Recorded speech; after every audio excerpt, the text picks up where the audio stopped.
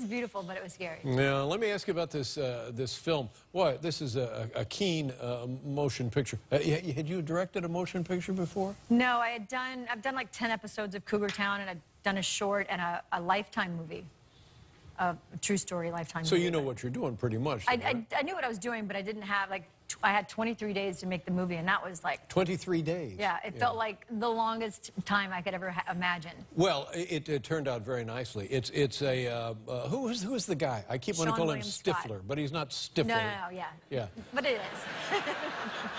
Seann William Scott. Yeah.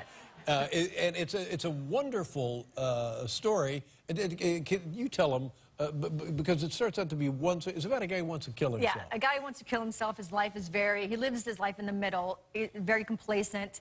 He has a wife that leaves him for a, you know, her guitar teacher, and he works at a pet store. He has just nothing going on. And And as a child, he was bullied. he was bullied by, the, in high school, he was, um, his teacher was really horrible to him and uh, when, in like third grade. So he goes back to his hometown before he kills himself to confront the people that made him such a weak Mm-hmm. character. And it turns out that everyone has problems. The bully was, uh, was abused by his father, his, the teacher. I mean, she's got her own problems. Mm-hmm. and She actually is in a nursing home now. But it's just kind of making amends, his own bucket list kind of thing. The, the, the, but when you see, uh, excuse me again, when you see Stifler, you, he, he, doesn't, he doesn't seem like a guy who would be that fragile.